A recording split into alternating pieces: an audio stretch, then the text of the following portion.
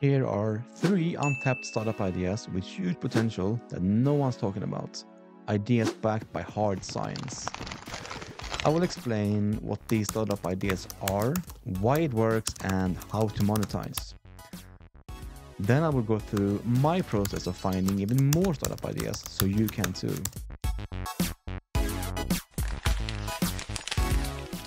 I'm Mike, and I have been finding trends and outliers for over 20 years for three letter intelligence agencies and in cybersecurity positions. And over the years, I have analyzed tens of millions of data points daily to uncover everything from nation state hackers and hidden attack patterns to finding outliers and trends. I've seen firsthand how to find high value outliers buried in massive datasets. Now I'm bringing that same expertise to the world of startup ideas and entrepreneurship. I analyze over 4,000 new research studies daily to find startup ready ideas backed by real science before anyone else does. So, why do this through research studies instead of relying on the usual sources? Well, by the time something becomes a trend online, it's usually too late to jump in and build something original. The real opportunities are buried in fresh studies, in early breakthroughs that haven't hit the mainstream yet. I'm scanning for those high potential ideas that most people miss. What I'm looking for are outliers, ideas that stand out, backed by real data and showing clear signs of startup potential. And once you know where to look, you can find some incredibly unique opportunities hiding in plain sight. Today, I picked a couple of ideas that stood out in the data, and I'll walk you through why they caught my attention. And these ideas aren't just concepts, they're opportunities ready for action.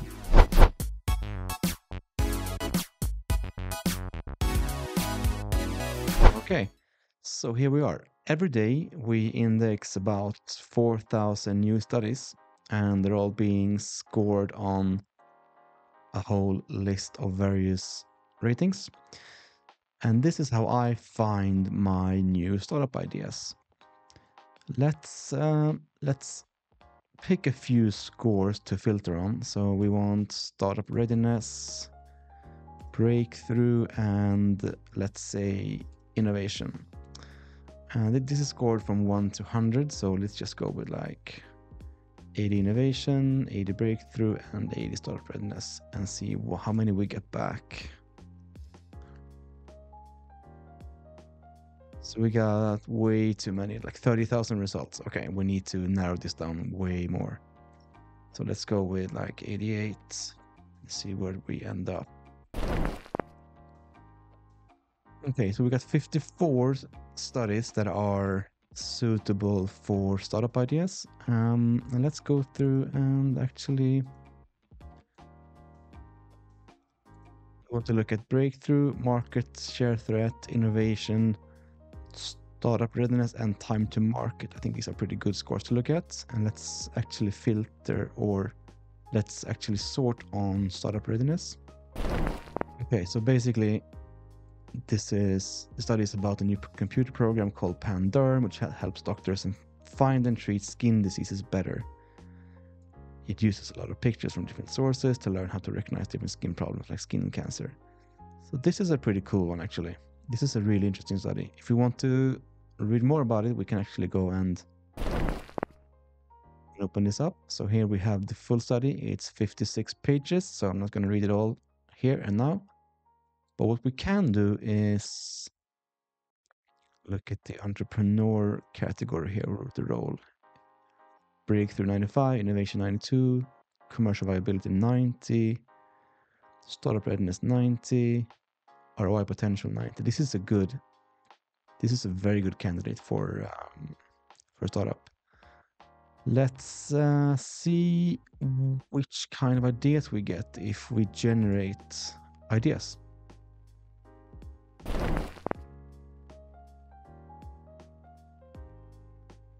Okay, so we get a bit of an introduction to the study. Uh, and as we just read, it's a groundbreaking AI model designed to diagnose skin diseases with unprecedented accuracy. And here we get four ideas for startups. First of all, we get um, for small startups, we get two ideas.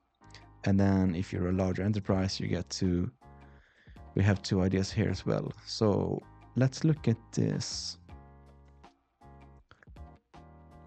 So we can see how it works and why this will work, and then the revenue model, basically how we monetize this. So this startup will develop a user-friendly mobile application that utilizes PanDerm model to provide on-the-go skin assessments. Users can upload images of their skin lesions and the app will analyze the images in real time, providing instant feedback on possible conditions, risk levels, and recommend actions. This is really cool. I can absolutely see that this will be a really good startup. And then how do you monetize it then? So the monetization monetization will occur through a freemium model, offering basic assessments for free while charging for freemium fee while charging for premium features like detailed reports, teleconsultation with dermatologist. Yeah. In-app advert, in-app in-app ads and partnership with skincare brands for product recommendations. Yeah, it's also really good.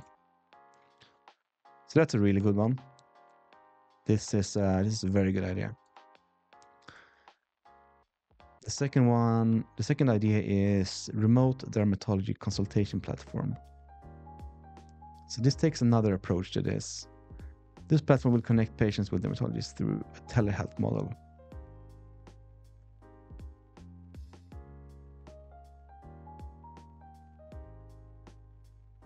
Yeah, so this so this one is more of a telehealth model we're using this Panderm AI model to assist in the diagnosis, to assist in, in the.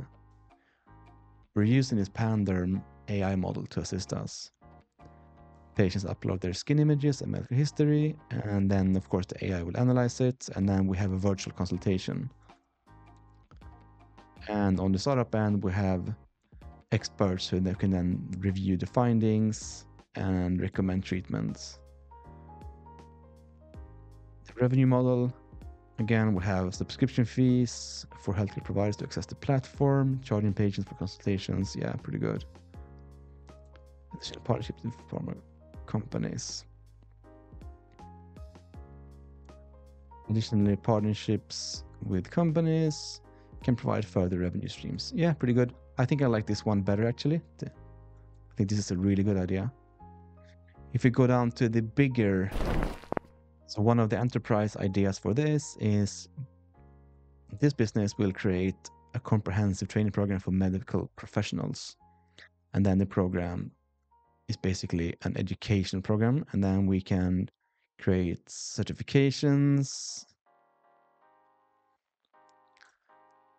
And then we also have interactive case studies, assessments, and certifications we offer using the AI model to enhance learning outcomes. Yeah. How do we monetize it then? How do we monetize it? The revenue model will be generated through. So how do we monetize it? Revenue will be generated through course fees from participants, subscriptions for ongoing training, partnering with medical institutions for training packages, and then we also have the certification programs.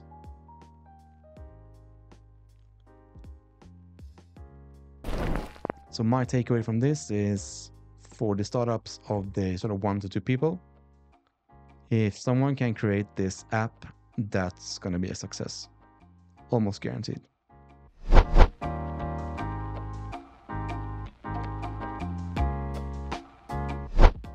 We also have this study, which goes pretty much hand in hand with the previous one. It's basically about analyzing images, but this one is more into the cancer realm. So the introduction says that the cancer remains a major health concern globally, with lung and colon cancer being particularly lethal. Early detection. Here, I think here's the, and this is the key part here. Early detection is crucial for improving survival rates, and I think this is where we come into play here. So we have uh, the conclusion for this is that the, the fine-tuned deep learning model shows exceptional performance in classifying lung and colon cancers providing a valuable tool for pathologists to enhance early detection and treatment. If we can make this into a startup, that would be pretty sweet. If we scroll down to see This one is also really good for entrepreneurs, we can see. So we got breakthrough 95, innovation 92, commercial viability 90. Maybe that the adoption rate is a little bit low here, like 80. I ideally want them to be like 85 at least, maybe 90, but okay. Um, so let's go ahead and generate some startup ideas from this. So here are the startup ideas for this one. And this one works pretty much the same, it seems like. The first idea here is again an AI powered diagnostics app. But here we're not really targeting the end user, but we're targeting healthcare professionals instead. So our startup will develop a mobile app where healthcare professionals can upload images of lung and colon tissues for immediate analysis. So basically, yeah, we have the healthcare professionals, they can upload the photos, and then we, our AI model, analyzes them and we get the results back. We store it in the clouds, so we store everything securely as well. Why this works is, of course, our app. It uses the study's findings, which indicate that the early detection significantly improves survival rates for cancer patients. So that's why it works, of course. And then the revenue model is we operate on a subscription model for healthcare facilities, charging monthly fee for access to the diagnostic tools and database.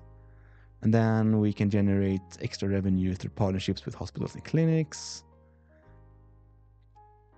And we can also have a freemium model here. And we can also have a freemium model as we can see here. I mean, that's pretty good.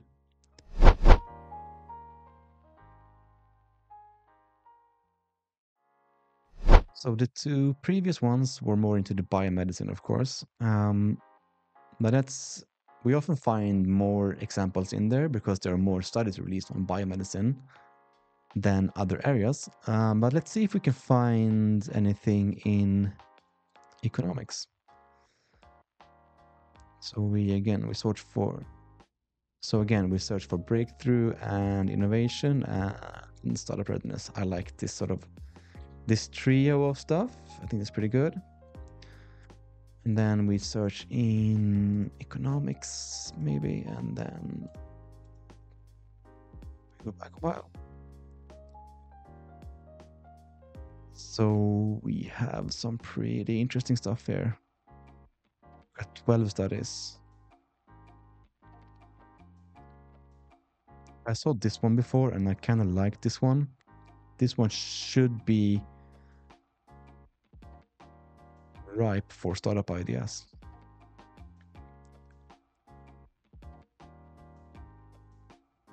So again, we have the intro, the results, the conclusion. If we want to, we can just go down to the explain it. In it. We can go down. If we want to, we can just go down to explain it like I'm five section, and we see. Um, so this study, so this study looks at how the Reserve Bank of India talks about money how that affects the stock market. Researchers use smart computer programs to understand words, feelings, what the bank messages. Okay, we snipped it before.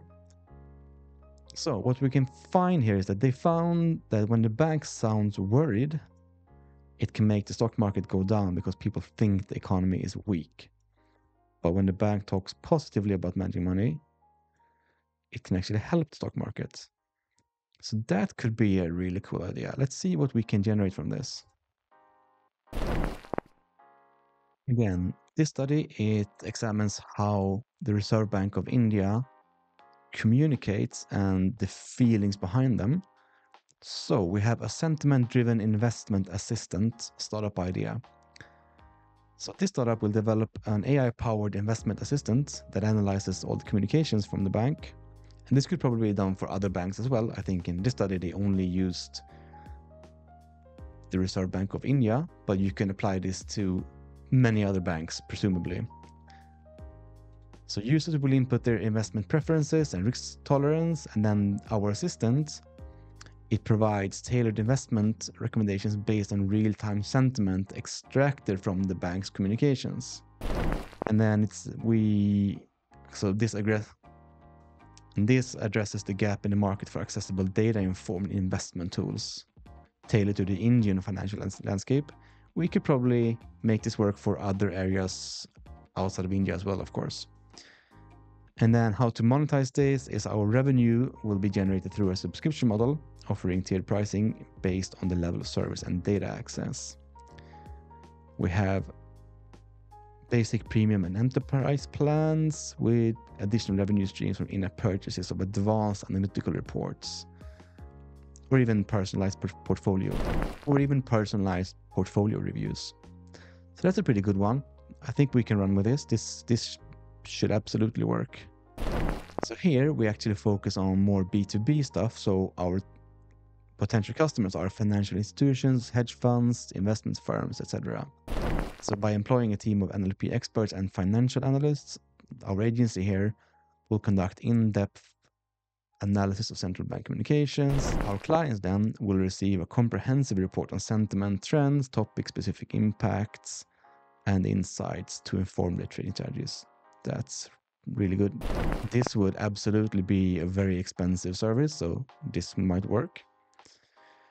The revenue model, of course, is that it's through the revenue model is through consulting fees, retainer agreements, project-based contracts, and also our agency can of course offer subscription-based access to our database of sentiment analytics and market forecasts for our clients. So maybe that's more SaaS-based, right? This could absolutely work as well. That's a really good idea. And that's a wrap. Remember, the best opportunities are the ones hiding in plain sight. If you're ready to stay ahead of the game, make sure to subscribe because I'll be back next week with even more high potential ideas. See you then.